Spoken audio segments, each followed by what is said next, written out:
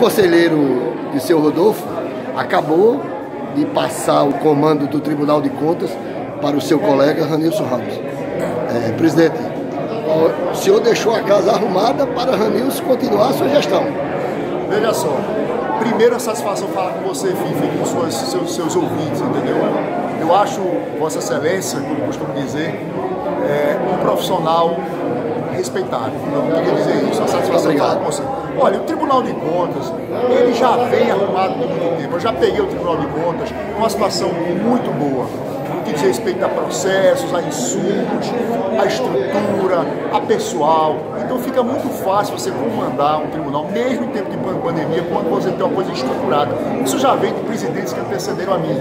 Então estou entregando ao, ao, nosso querido Ranilson Ramos um tribunal que, como todas as instituições, sofreu um certo abalo por conta da pandemia, mas automaticamente, muito rapidamente, entrou no processo mimético, ou seja, de adaptação.